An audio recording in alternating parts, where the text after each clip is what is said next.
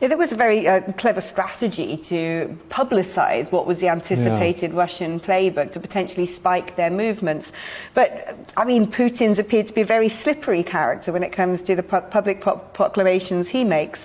Earlier today, a Kremlin spokesman has suggested that if Luhansk and Donetsk are given to the Russians or, or recognized as uh, completely separate states.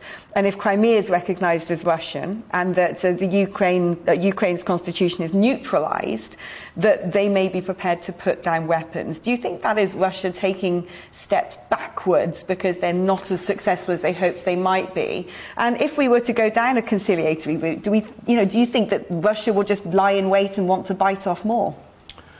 Well, I think it's at the moment hard, given what's happened, for anyone to step back. Um, I mean, one hopes there could be a negotiated settlement at some point, but to make really strategic concessions to the Russians after what they've done is going to be very difficult for Ukraine. It's going to be very difficult for the West.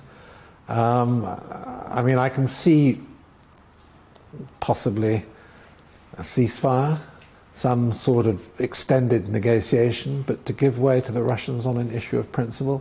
Look, in my lifetime, if we, you know, if you actually, from the time that I was born in the final war of World War II, what's Russia's invaded Finland, Hungary, Czechoslovakia. Um, you can carry on um, Georgia, uh, Azerbaijan. I mean, it, you know, it, the list goes on and on. Um, so I think it's going to be very, very difficult now for the West to accept some sort of basic concession to Russian, well, the, the, the Russian interpretation of, uh, you know, their, what you could call it their geopolitical claims or their geopolitical right. I mean, what Putin's done is quite extraordinary because, I mean, this is the same as the Anschluss uh, the Nazi takeover of Austria. It's like the German takeover of Sudetenland as well, the Nazi takeover. You know, where culture, language, uh, ethnicity is more uh, important or, or, is seen to be the ultimate rationale and not national front, international frontiers. I mean, uh, internationally agreed frontiers.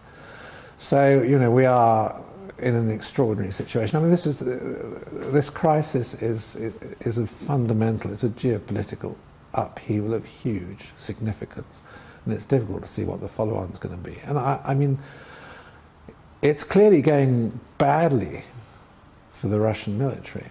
Um, they have not done what they clearly set out to do, which was to decapitate the regime probably in 48 hours, drive down the road, half the population would have greeted them, take over Hostomel, the main air base, land your crack troops, drive down, decapitate the governments all over in 48 hours. Well, that's clearly not happened, not going to happen. And um, I think that's what's worrying, because if the Russians can't, as it were, conduct, let's say, a conventional blitzkrieg military campaign because their logistics have broken down, their conscript troops are not fighting successfully, then you know we're into politics or the military politics of obliteration, rubblization, because they've got plenty of ordnance, they've got massive kinetic power. Um, so I, am really, really depressed and worried as to what's going to happen next.